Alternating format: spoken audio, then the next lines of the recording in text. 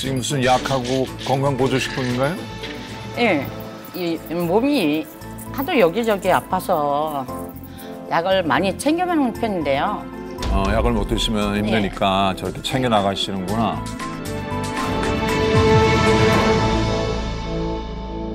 이상옥 씨 일상을 보니까 당 떨어진다 이 말을 달고 사실 것 같아요.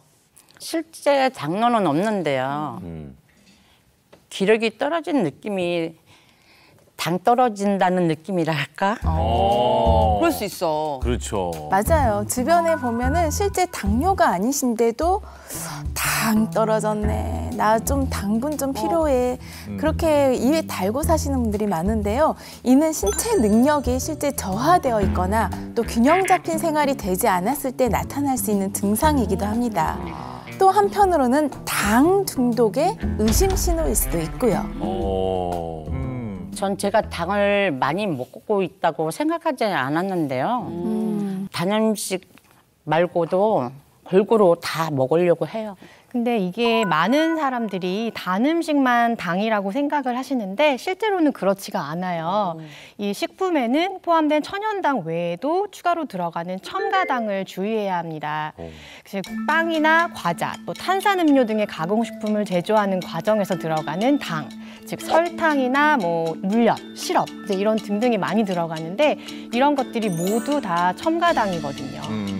그러면은 가공식품을 먹으면은 나도 모르게 첨가당을 먹게 돼 있네요. 그렇죠. 그럼 이게 우리가 안 먹을 수가 없네. 그러게 아예. 나는 안 먹고 살았다고 생각했는데 네. 먹고 있었던 거네. 그러니까. 맞아요. 부지불식간에 아예 본인이 가공식품을 끊어버리지 않은 이상은 첨가당은 누구나 섭취를 할 수밖에 없습니다. 아. 세계보건기구에서 정한 하루 첨가당 공고량은 25g 이하입니다. 25g. 또 허용량은 공고량의 두 배인 하루 최대 50g 이하고요. 그런데요, 우리나라 사람들은 하루 72g, 공고량보다 약 세 배 정도 많은 양을 섭취하고 있는데요.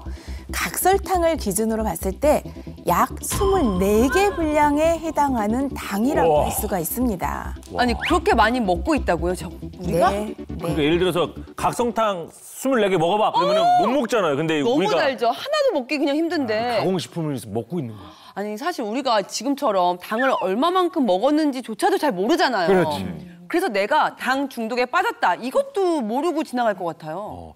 혹시 그러면 그당 중독에 빠지기 전에 우리가 혹시 알아차릴 방법 같은 게 있을까요? 네, 렙틴 호르몬, 즉 식욕 억제 호르몬이라고도 하는데요. 이게 분비되면서 이제 뇌에서는 이제 그만 먹으라는 신호를 보내게 되거든요.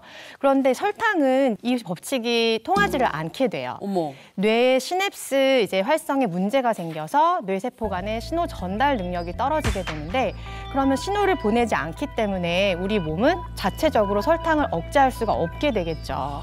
그래서 당 중독에 빠질 수밖에 없는 거고요. 아, 당을 막을 방법이 없는 거네. 그게 방법이 없네.